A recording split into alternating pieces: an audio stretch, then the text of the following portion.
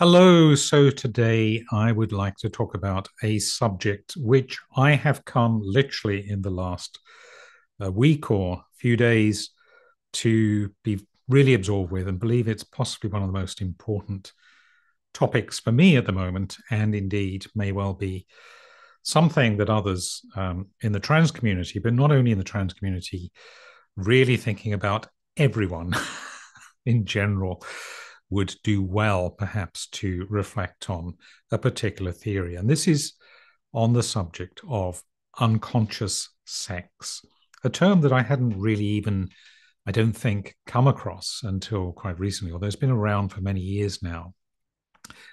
I was pointed to this through a um, um, a thread in the Crossdream, uh, Crossdreamers, uh, Crossdream Life, I should say, forum, which pointed to an amazing article. I thought a really, really thoughtful article in Medium by um, a trans man, Paul John Poles, entitled Why Isn't Anyone Talking About Subconscious Sex? And he went on to say that subconscious sex was really a missing piece in um, his own jigsaw puzzle, his own gender jigsaw puzzle. And having read his article and having gone on actually to read a book that I've been meaning to read for a long while, it's a classic in the trans uh, discourse, Whipping Girl by the biologist and trans activist uh, Julia Serano. I, I've actually come to reflect on this same question. This is something perhaps that, by not being aware of it, um, has caused me a lot of confu- confusion. So, this term, um, subconscious sex, was coined by Julia Serano, um, and she defined it as an unconscious and inexplicable self understanding regarding what sex one belongs to or should be. She says that it's a blind spot that most people have, not just in the trans world, but particularly, actually, probably more so among so called uh, cissexual people, i.e., those who do not have um, any um, dissonance in, in, their identity and their, their felt lived experience. Um, but of course, it's also a blind spot for many, probably in the trans community, who've never come across the idea or thought about it. This is something that's only likely, perhaps, to come to the fore when we do experience dissonance uh, between the sex we believe we should be and the body we inhabit. inhabit. Now, um, both Poles and Serano uh, are at pains to point out some definitions here, uh, which are quite important to make sense of this.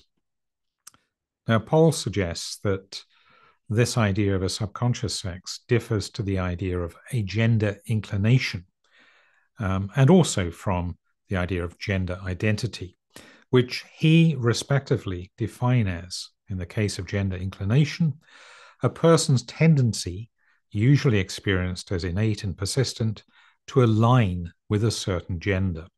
Uh, defining gender here as the set of social roles, expectations, behaviors, and so on, commonly associated with a given sex, or their tendency to move away from gender as it exists today through a rejection of gender and or uh, through a creative reinvention of gender. And in the case of um, gender identity, Poles defines that as someone's gender inclination which has risen to the level of their conscious awareness as expressed through a word or a set of words uh, which they feel best communicates the said gender inclination. And he gives examples such as genderqueer, femme, butch, uh, and so on. Now, he also suggests that we distinguish sex identity, which he defines as a person's subconscious sex which has risen to the level of their conscious awareness as expressed through a word or a set of words which they feel best communicates the said subconscious sex giving examples male, female, man, woman, uh, neutral. Birth sex, this being a person's physical sex at birth, for example, male, female, or intersex. Their live sex, a person's current physical sex, gender expression, the external manifestation of one's intrinsic gender inclination and or gender identity and or desire to conform with a particular gender for whatever reason and also lived identity which encompasses the various aspects of one's gender and sex with respect to how one relates to them and relates to others through them as expressed through a word or words which one feels best communicates them also, this can be referred to as our lived gender and sex identities, or lived gender sex identity. Examples given here genderqueer man, femme, neutrois, among others. So, really making an important distinction here between gender and sex, between what we are living, what we um, actually perceive, what our subconscious or indeed conscious perception of ourselves is, um, and how we express I, our identity.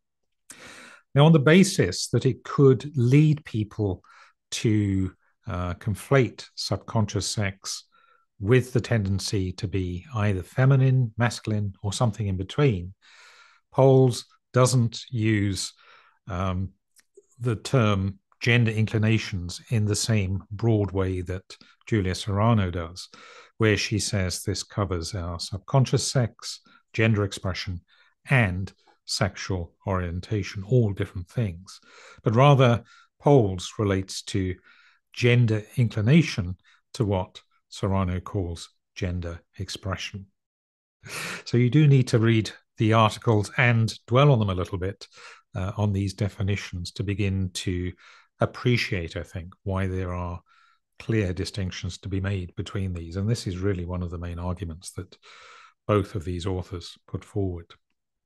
Poles makes the point that sex and gender, specifically, are separate inclinations, and that it's not always the case, as he put it, puts it, that trans people change our sex in order to affirm our gender, but rather they do so in order to affirm our subconscious sex.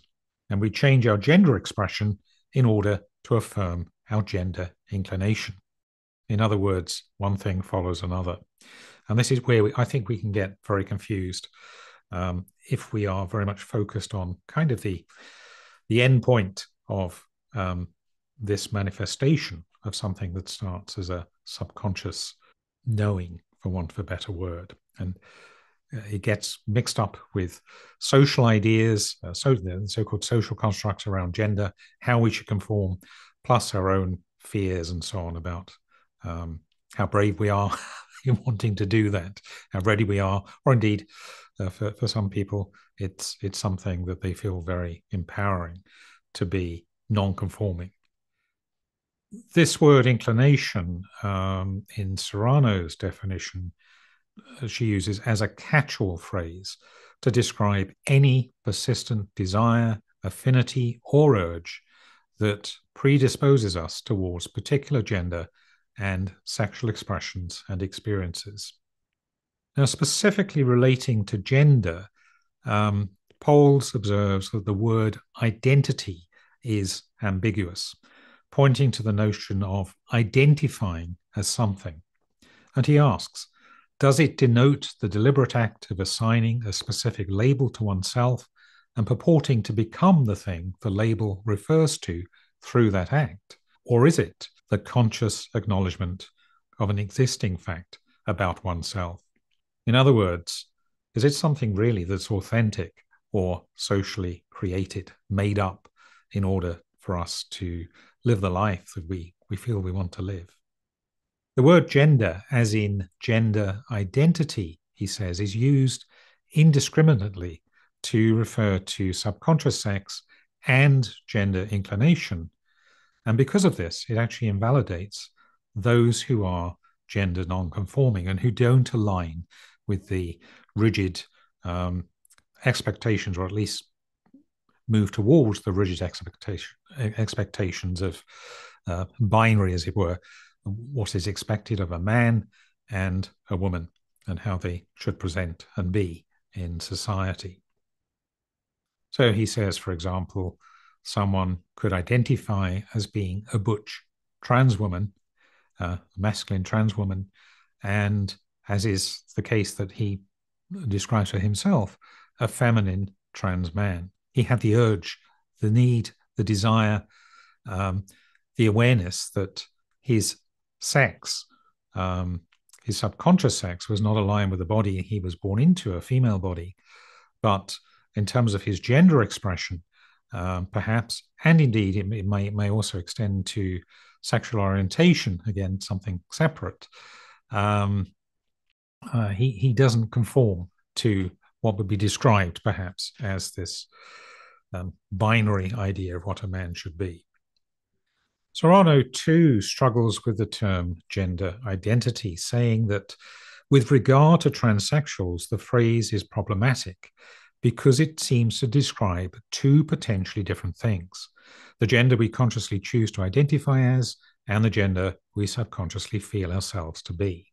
It's the second of these that she calls our subconscious sex, going on to say, perhaps the best way to describe how my subconscious sex feels to me is to say that it seems as if, on some level, my brain expects my body to be female.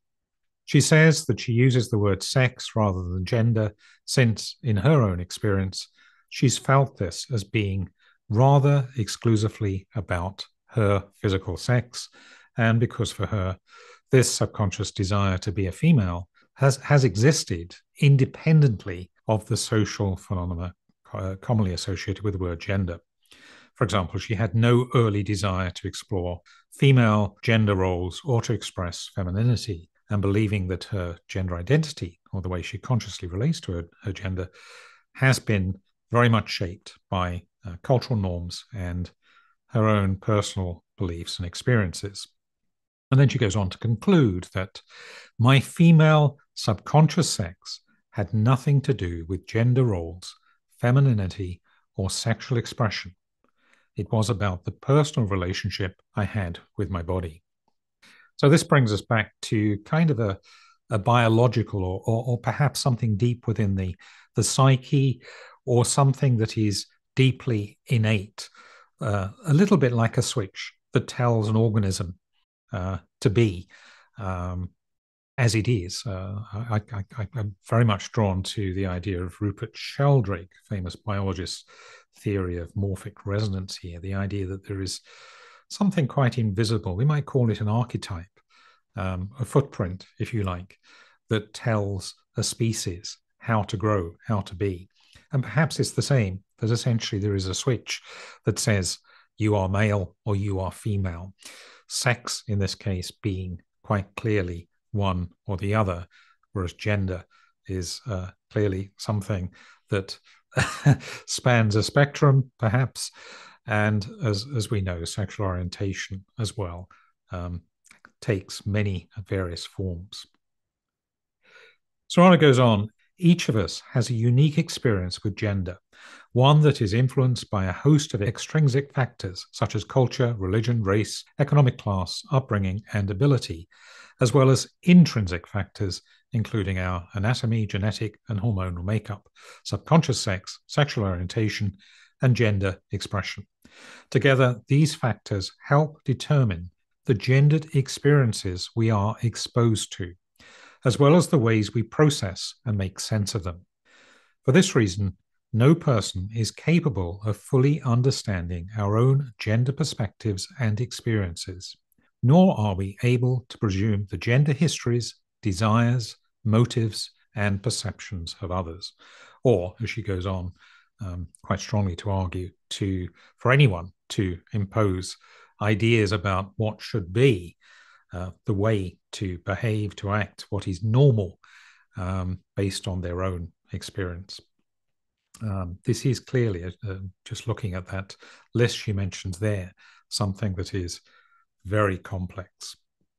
I found this very important to contemplate. I've spent quite a lot of time in recent days reflecting on it, particularly how I personally relate to it as a person who um, identifies as gender fluid. In other words, who is, is very focused on gender um, play and gender expression. And it's really brought me back to this question what is my subconscious sex? Can I actually get to the bottom of what that's about? And maybe that says something about others who consider themselves to be gender fluid, or we might say sex fluid. Um, uh, that could uh, opens up the discussion around orientation. So might bring uh, the idea of bisexuality or asexuality into the equation. It also brings into question perhaps the idea about androgyny or intersex. Perhaps it isn't quite as straightforward as being able to switch one way or the other. But I'm processing all of this at the moment, and I think it's going to take a little time. I will come back at some point. It may be, as I say, a few weeks down the line, with um, further reflections on what I think is a very, very important topic, really for everybody to perhaps consider. Important for those who are not trans, perhaps if they could accept at least the possibility that this theory has something to it, then it should be possible, uh, I believe, to overcome a judgment and prejudice against those who find themselves as trans and, and not just rely on those um, those old arguments about someone being misled um, or seeing the grass as always greener or there being something to do with their upbringing or their hormonal balance or whatever that is at root. And for some, indeed, seeing it as a psychological disorder um, and or a sexual perversion. I think many of us in Western society, at least, have moved on from those ideas in recent years, but they're, they're still there. So, a very, very important topic. And one, I think, coming back to that title of that article that uh, set me really thinking about this why isn't anybody talking about this? Um, a very, very valid question. We should be talking about our subconscious sex.